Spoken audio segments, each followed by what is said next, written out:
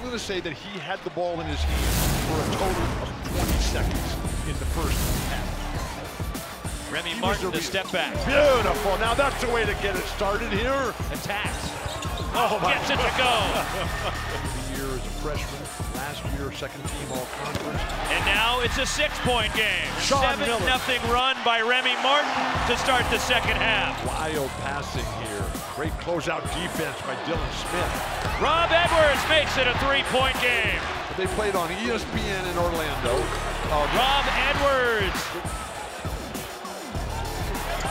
oh my gosh. one-point game. When was the last time he made that shot? Nice passing. It Cherry. Taeshon ties the game. Split that double team. Oh. Wow. Oh, Shot clock down to seven. Alonzo Verge on a step back. Three.